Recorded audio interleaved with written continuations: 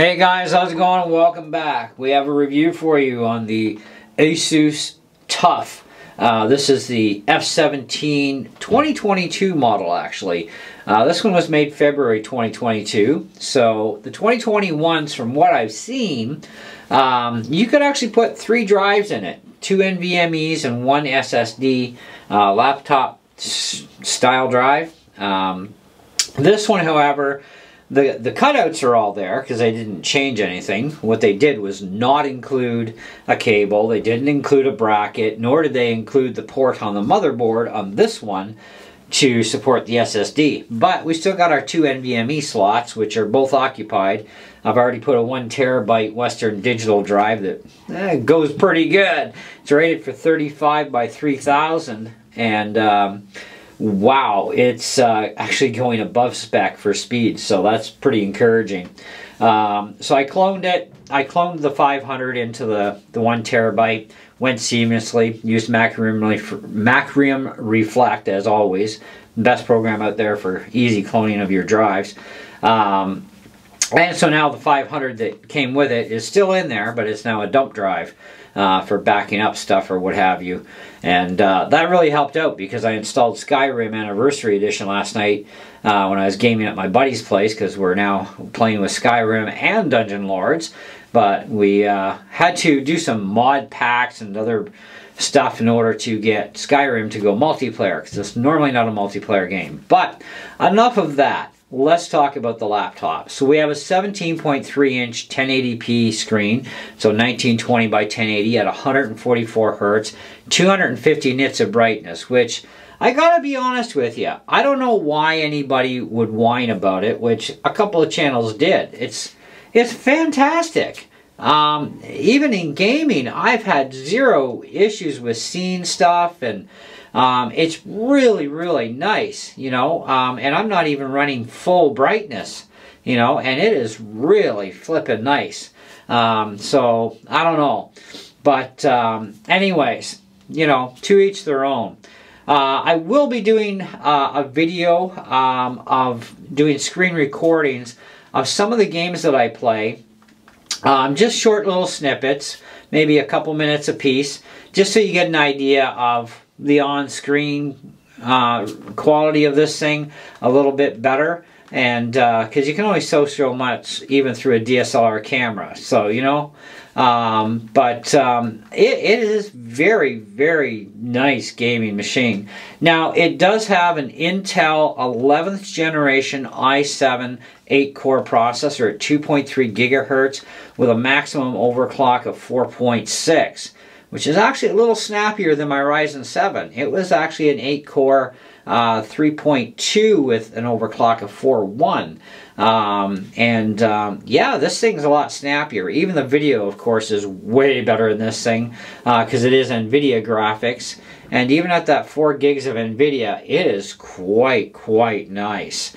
Uh, very, very impressed with this thing.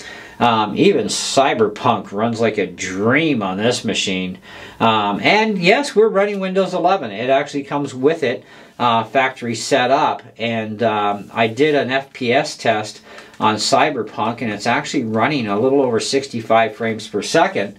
Um, and that's at high to ultra high settings mixture um, at the 1080p and that is really good because by the time um, you know, Windows 11, uh, when I first tried it out, of course it had bugs like anything else. You go back to 10, a few months later, go back to 11, try it again, get some more updates. Next thing you know, Cyberpunk went to the snot bags. Uh, even at 1080p in the lowest settings, I couldn't get past 21, 22 FPS out of it. Um, so I went back to Windows 10, and then Windows 10 was fine until the update hit and whatever that did, it did the same bloody thing to me. And that got me really pissed. So I got tired of this garbage and I thought, you know what? I'm done. Um, and uh, I kind of swore off PCs, but now, of course, I've got an $1,800 laptop sitting on my table here, shaking my head, going, What? No, it's because I missed playing my games. And the Macintosh um, M1 series and even the M2s, they absolutely suck when it comes to gaming. I'm sorry. Uh, I am an Apple fanatic, uh, heart to heart. Uh, through the core, but Apple has done a, a, lot of stuff with these M1 chips that has really crippled them in the gaming market. And even an old game like Tomb Ra- Shadow the Tomb Raider, I mean, even their $5,000, well, they'd be five grand in Canada, but in the US, four grand for their Studio Ultra, even as a base level machine, which has tons of RAM, tons of processing cores, tons of GPU cores, the best it can do is like 115 FPS at medium graphics and 1080p. That is ridiculously sad, you know? So, um, yeah, anyways, I guess we'll have to let Apple have a few more years plugging away and maybe they'll smarten up their act and maybe listen to a few of my videos of comments I've made of what they could do to fix their problem and then they would become more or less like gaming kings at that point. Um, but uh, they do say they want to get really into the gaming, but uh, yeah, that's yet to be seen. So um, in the meantime, I'm going back to PC World for my gaming aspects, and but for everything else, I will definitely stick 100% with the M1s because they are freaking phenomenally faster than any of the Intel Macs.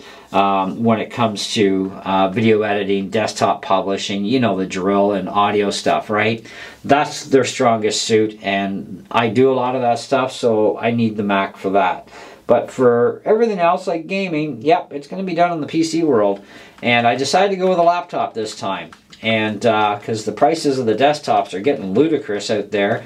And I don't need all that fancy, frigging stupid lighting anyways, other than, well, I got a lit keyboard in this one, but, you know, I like it. Uh, I do like light up keyboards, and I did figure out how to change my static color to anything I want. I do have a tutorial, by the way, on the Armoury software that comes with this.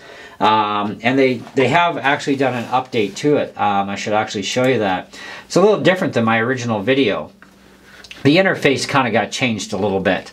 Um, and in here too, they tell you the memory frequency, which is kind of nice because the BIOS doesn't. And I'm like, um, I need more RAM because Cyberpunk wants 16 gigabytes of RAM just to itself. And this thing only came with 16 gigs. And Windows is chewing up like six and a half gigs to itself, right? I mean, it tells you right here. And the only thing I got running is the OS and this puny little thing. And we're at six and a half gigs. So I don't really technically have enough RAM for Cyberpunk to run full out for the RAM requirements that it recommends on. So it puts you into virtual memory, right? And that means SSD torture which will burn up your SSD drives because SSDs are not made to handle that kind of torture. So, you know, we have to take these things into to account. Um, and uh, so I, I just finished ordering actually um, a upgrade of 32 gig of RAM. So I'm going to drop two 16s in this thing, and um, that'll definitely solve my, my issues for lack of RAM for any of the games, at least for a while. Um, hopefully a good long while. But uh, good news is this thing will max out at 64 gigabytes of RAM top end. So if I ever did need more RAM again, I can just buy 232s and be done with it. Um, anyways, but in the meantime, I have done a tour of this program, so we don't need to talk about that anymore. Now, we do have a camera built into this thing, obviously. It's a webcam. And yeah, the picture quality on this thing actually kind of really sucks. Um, Apple does a much better job with their 720p cameras, like about 500% better. This is not appealing for today's technology. Okay, they should have gone A with 1080p and B with a higher megapixel, or at least at 720p, you know, more than less than a megapixel. I mean, come on, seriously? A 5 megapixel 720p would have been fantastic, especially with the kind of money these things cost.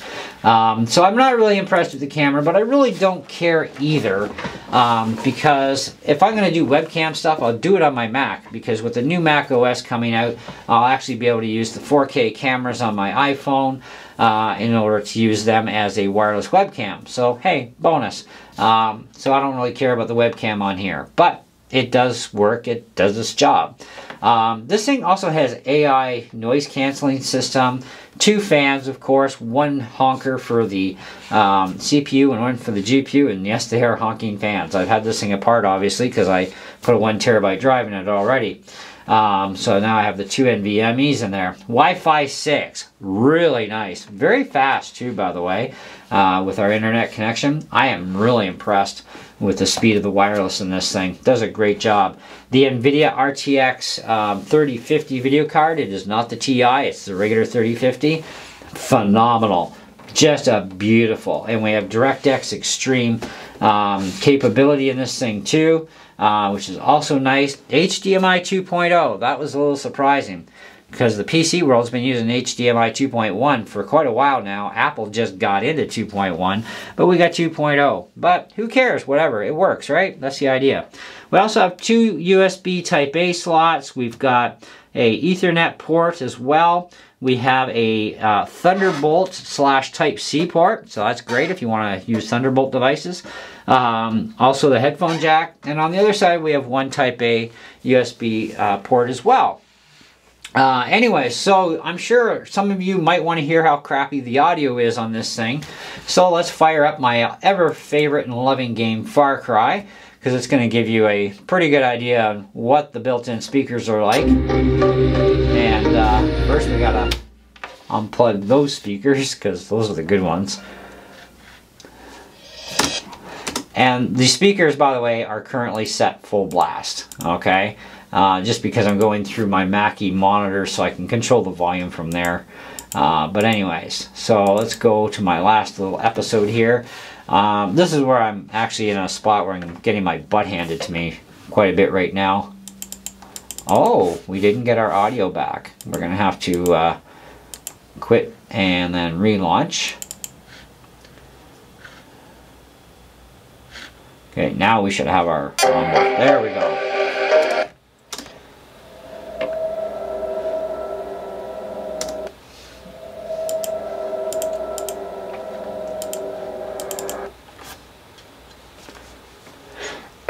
Now, it is loud enough that if you're in a quiet room like I am right now, it's perfectly fine. If you're playing with a bunch of your buddies and people won't shut the heck up, you're not going to hear much. It's going to get really swamped out for the built-in audio pretty quick.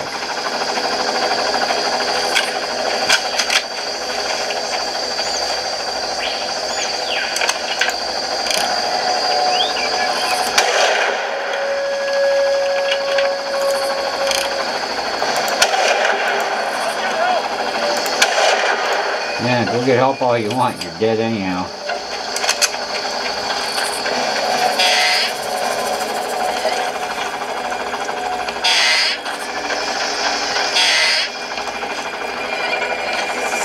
I know, so dead.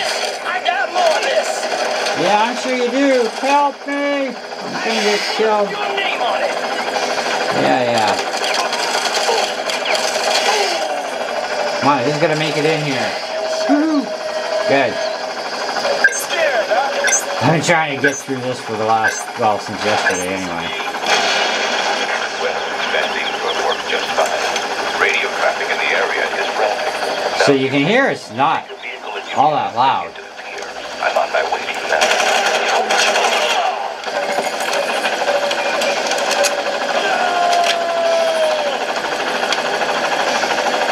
But the picture quality on this is quite nice. I am really impressed with it. For 1080p, that is pretty darn impressive.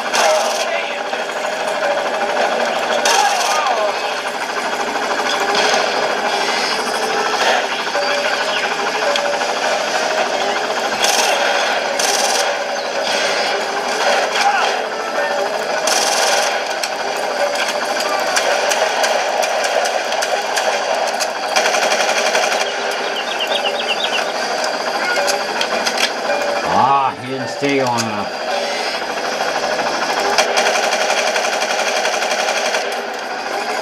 Couple more shots and the chopper will take off. Where'd he go?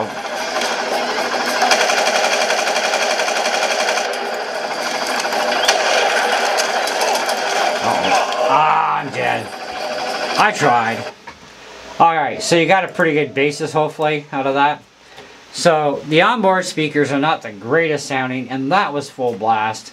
Um, so I'm not, I can't say I'm overly excited about the built-in speakers. Um, you'd be better off with a good set of external speakers of some sort or headphones, uh, especially when you're doing games. Um, even watching videos, unless you're doing that in a really quiet area, um, yeah, anybody who's talking to you is going to like mess up your video you're trying to listen to. But uh, so not not the world's best, okay? Um, I am dinging some things here, obviously.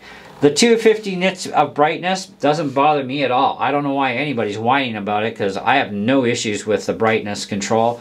I'm still not up to full brightness. I'm about three quarters of the way up, which I find is nice and comfy. Um, I don't think I really wanted any brighter. But the, the, the pixelation of the resolution of the screen for, for a 1080 uh, P is really, really nice and solid. I mean, it's clean. Uh, it is not at all what I expected. I expected to have to run an external better display on this thing all the time. Um, but yeah, it's it's fantastic. I'm I'm honestly I'm really impressed with the screen there. Um, so we're all good to go. Now, as far as I'm concerned, um, in the end result of all this, though, um, I do feel that the, the computer does deserve a lot of great marks. Um, but I, I really can't push it too high on the star rating here. You know you're not going to get a 5 because nothing's perfect, but I will give it a 4 and a quarter. And the reason for that is because I do have an issue with the sound being not that great even for a laptop. I've had better laptops, non-gamer and gamer laptops before that were way better than this, okay? That's number one. Um, number two, the camera absolutely sucks, okay? I mean, they could have done a much better job. I mean, seriously, this is 2022 technology. They have the better cameras they could have put in for what they charge us for these things. I mean, come on. I mean, this is just, I don't know. But it could have used a much better, even at 720p. A 5 megapixel 720p would have been perfect. Um, easy to upgrade stuff. Um, it's not that hard to get the back cover off. Uh, that's pretty simple. Um, so easy to upgrade. You do have that upgradability in this thing, which is nice. You know, it is user upgradable uh, that you can do. Um, definitely a lot there for the money in, in a lot of the, the good sides, right? Uh, for a gaming laptop, without spending, you know, three times this kind of money, it's it's really quite quite good. You know, I, I'm sure I'm going to be happy with it for you know, till the end of its life cycle anyways. Um, but um, the only other thing I can say about this thing, um, I guess, would be the lid. Right, they call these military grade class. That is nothing more than a marketing scam. This is aluminum top, yes. The rest of the computer is plastic. And it's anodized aluminum, and it does scuff really easy. I've already got a couple little light scuffs in there. It didn't take much to scuff that. That was kind of a little disappointment. But I guess that's another reason why they give you a pile of stickers to dress up your computer with so that you can cover those little boo-boos. You know what I mean? But I'm not putting stickers all over my laptop. You know, I, I'm I, I like games. I am a gamer, but yeah, there's a limit to what I'll even do with stickers. So I'll find another use for those. But, you know, going to sleep, waking back up, I mean, it's pretty quick. It's pretty much instantaneous. Um, that's fine. So anyway, um, that's where we're at with it. But do I recommend it in total? Yes, I think it's great. If you can live with a sucky camera and just buy something that's better, great.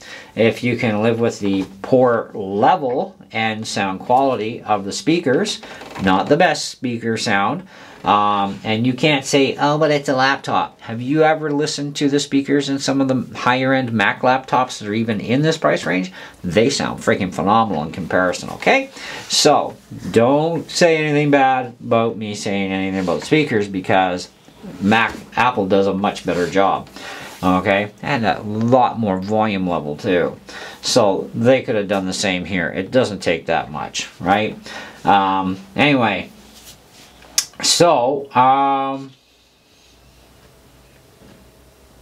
yeah, that's that's I guess that's pretty much it. My my two biggest complaints are are definitely the speakers and um, the the camera sucks. Okay, um, that would be about it. Otherwise, I'm quite quite happy with it, and I don't regret my purchase. And knowing what I know, I would do it again. Um, you know, so that's that's not a the question at all. So you know, that's not putting that into any kind of question. Uh, I would definitely do it again. You know, knowing what I know now. So I would definitely, yes, recommend this laptop. Um, now, if you have a problem with 250 nits of brightness, then don't buy it. Okay, um, I don't have an issue with the the brightness level. I think it works absolutely fantastic. Um, it's not a video editing machine because of the lack of brightness. Um, you do need a lot more than 250 nits. Um, you do need a lot tighter resolution. You do need a higher uh, quality color palette. Um, and that could get you into something like a multi-thousand dollar laptop, something around four, five, maybe eight thousand dollar laptop. Uh, if you wanted something that would have that kind of horsepower and quality to hopefully uh, get you a lot better quality when it comes to doing that sort of stuff. But for gaming wise, it is more than sufficient for, for your gaming needs, in my personal opinion. But um, you would have to try one out for yourself, to be honest. But like I said, stay tuned. I got some videos coming uh, where I'm going to screenshot record them, uh, some of my games, so you can see how, how things are yourself. Um, of course, some of that is subjective because the quality of your screen makes a difference at what you view anyhow. Um, so, uh, but you'll get a rough idea at least, um, you know. But uh, anyways, in the meantime, thank you so much for watching and staying tuned here. Um, and do stay tuned for more videos on this laptop. We do have a lot more testing to do. Um, also, uh, I want to do some videos of average FPS on games. Um, I'm going to do probably a couple little snippets ahead of time before I do the RAM upgrade, especially on Cyberpunk. I want to see if it's really going to be beneficial because uh, I know about where Cyberpunk's running now. Um, you know, it's averaging 50s to 65s. Um, is kind of where it fluctuates with. Um, and one last thing before we go, in case you didn't know this, on Windows 10 and Windows 11, if you hold down the, um, what is it, function, uh, the Windows, nope, um, I believe it's function G, no, Windows key G, window key G. Uh, window key G gets you FPS, and to track FPS in a game, uh, to keep it running, click on the little pin so that it pins it and then this way when you go back it's up here already ready to go. Launch your game and it'll set itself up and track your FPS in your game for you. And if you want to get out of that after you're done your game just go activate that uh, console again unpin it click you're done. Um, that's built right into Windows 10 and Windows 11 and uh, anyways so uh, thanks again and we'll catch you in the next one. Ciao